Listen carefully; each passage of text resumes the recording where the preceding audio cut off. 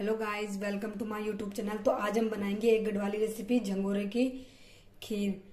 तो इसे बनाने के लिए मैंने यहाँ पर ये झंगोरा लिया है, जिसे मैंने आधा घंटे पहले भिगो कर रख लिया था। ये मैंने यहाँ पर ड्राई फ्रूट्स लिए, ये मैंने यहाँ पर थोड़ा पिस्ता लिया है। ये मैंने यहाँ पर बादाम लिया है। इलायची पाउडर।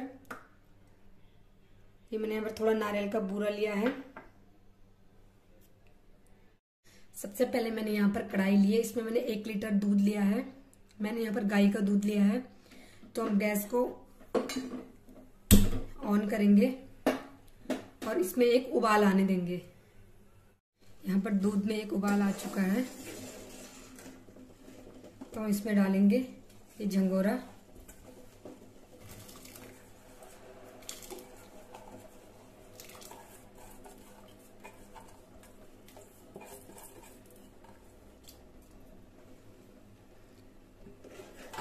इसको मिक्स कर लेंगे।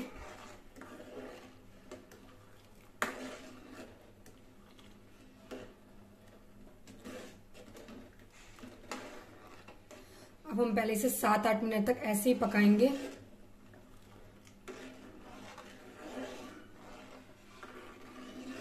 और इसे बीच बीच में चलाते भी रहिए, ताकि ये फिर तली में ना लगे।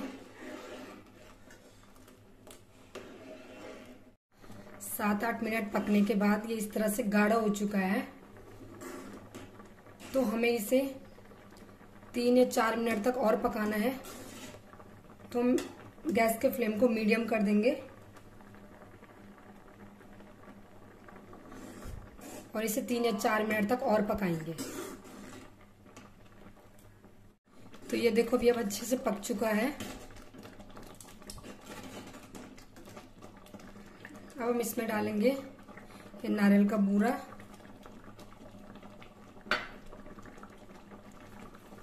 ड्राई फ्रूट्स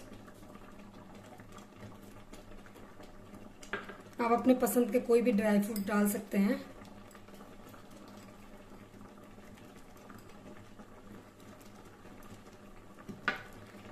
ये हम डालेंगे आधी कटोरी चीनी।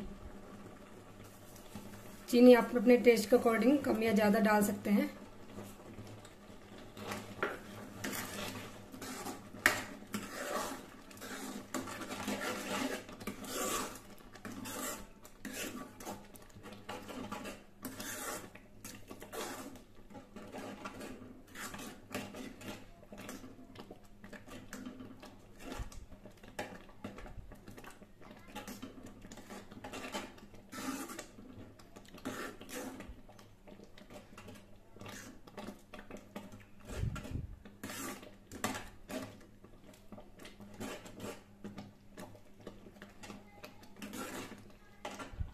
तो ये अब रेडी हो चुका है।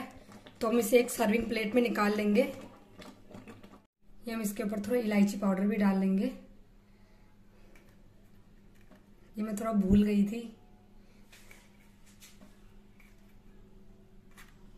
इसको कर लेंगे मिक्स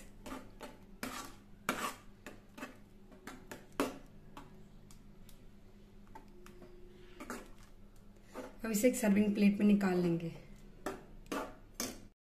तो हमारे झंगोरे की खीर हो चुकी है रेडी तो अगर आपको मेरी ये रेसिपी पसंद आती है तो प्लीज़ मेरी वीडियो को लाइक करें शेयर करें और मेरे चैनल को सब्सक्राइब ना करना ना भूलें।